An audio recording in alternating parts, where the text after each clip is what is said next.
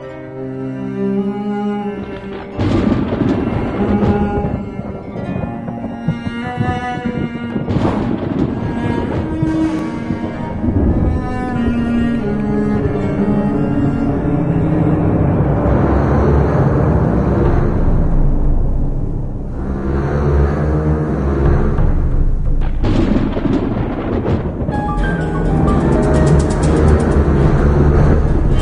some doors that should never be opened.